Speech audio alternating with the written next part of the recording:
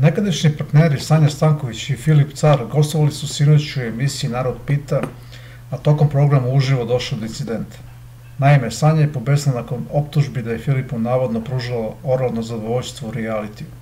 Nakon svađe psovke, Stanković je skočila sa stolice, uzela čašu, prišla Filipu Caru i povela ga vodom, a on je zatim izašao iz studija. Sanja nije mogla da se smirija, Filip se ubrzo vratio, te se ređenje nastavilo. Sram te bilo, ti ne možeš da potrčiš na nešto drugo, spuštaš me na finjak, ponežavaš, ali nećeš više, govorila je Sanja.